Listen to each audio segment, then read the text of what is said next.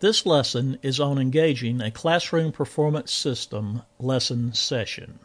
We begin by double clicking the CPS icon on the desktop.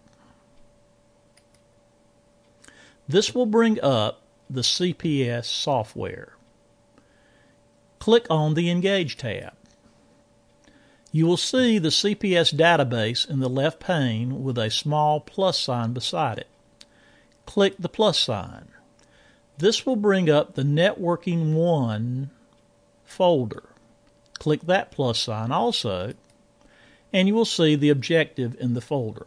Since this is the lesson that we want to engage, we place a check mark in the box beside that objective. You will see the questions for the objective in the right hand pane.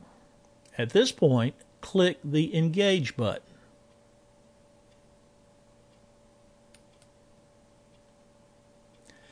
This will bring up the Engage bar. At this point, you should start your data projector and pass out the response pads to your students. When you have done this, you can begin the question session by clicking the Next button. You will notice that the text for this question is quite small. You can zoom the text to a larger size by clicking on the Zoom button. When the text is large enough for your students, you can begin the questioning. I typically begin by reading the question Which organization offers the A Plus and Network Plus certifications? I then click the Start button. This allows the students to respond. You will notice at the bottom of the screen there are 24 light blue tiles. Each tile corresponds to one of the response pads in our kit. As each student responds, their tile will change from light blue to dark blue.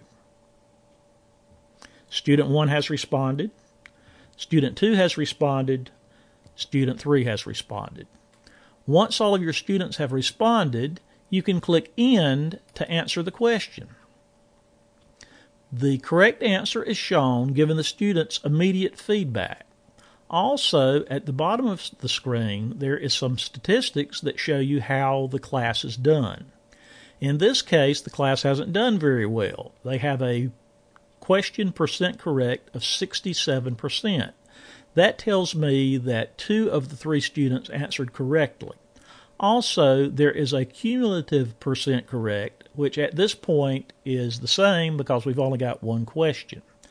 If I had this level of response, I would typically go into a detailed explanation of why the correct answer was what it should be. When I'm ready to move on to the next question, I click the green arrow. I will read the question What is the purpose of an IT industry certification exam?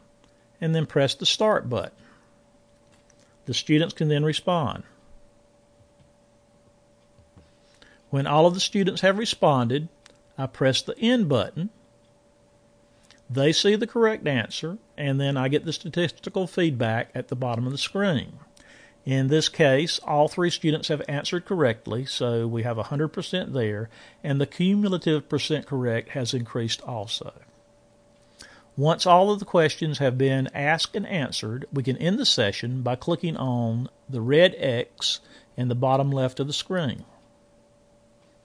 This brings us back to the Engage bar, which we also close.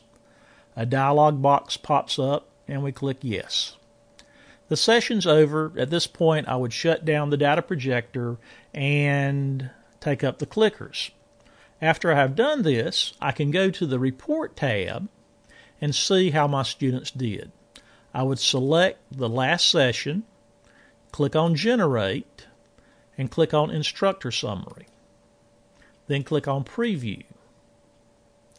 This will bring up a screen that shows me exactly how each of the students have done.